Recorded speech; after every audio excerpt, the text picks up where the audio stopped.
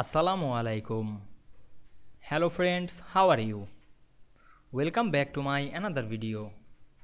In this video, I am going to show you how to add a dash tab leader in Microsoft Word. Let's get started. Firstly, we have to open a Word document. Now we want to add dash tab leader in this document. Firstly, write anything in this page.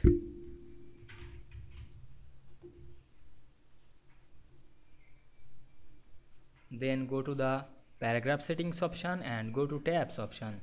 Then write 6.5 tab stop position.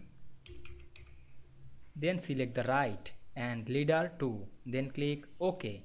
Then press tab on our keyboard and we can see we add dash tab leader in this document very easily.